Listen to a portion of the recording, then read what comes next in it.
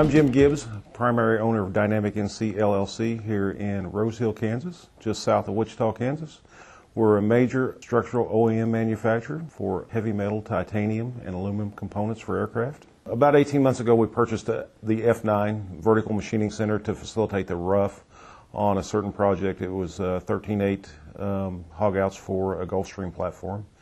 As we moved into our new facility, we purchased the A92 to facilitate the finish operations on it, along with two additional T1s that will help the finish and rough operations on our 13.8 hog out parts. At the beginning of 2014, we purchased uh, two Mag 3 EXs to expand our capabilities to the aluminum market. We won a major rib package for an OEM manufacturer, and the cost associated with this led us to the Mag 3s to produce the parts at the lowest overall cost.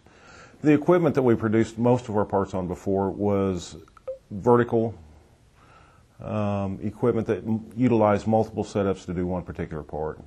Um, the, the T1s allow us to produce the same part with less setups, less variation, and uh, reduce our labor content in that. We can also go to the unmanned or unattended machining of hard metals even during rough. The components are a multi-axis part that needed access from all sides of it, and in particular on the horizontal.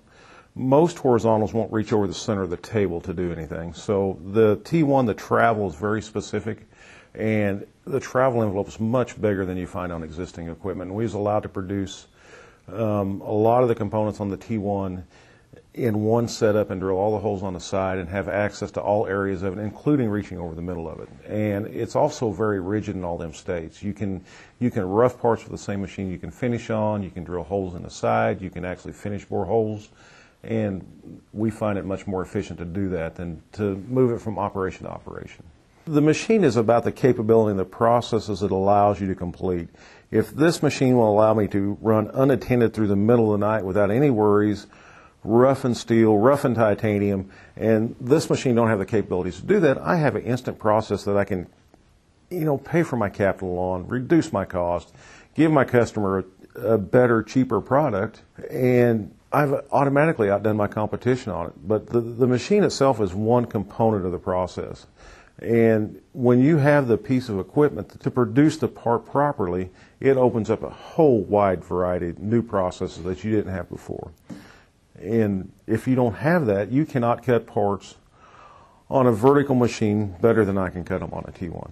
There, there's no way. So if I have a T1 and you have 50 verticals, I'm going to win every time. I can produce parts cheaper than you can. I can produce them with less tool cost, less labor. And you know, I can have one guy run three, four, five T1s compared to you have one guy for every vertical machine that you have. So it's, a, it's about the process oriented and the cost associated with the product, not about the cost of the equipment itself.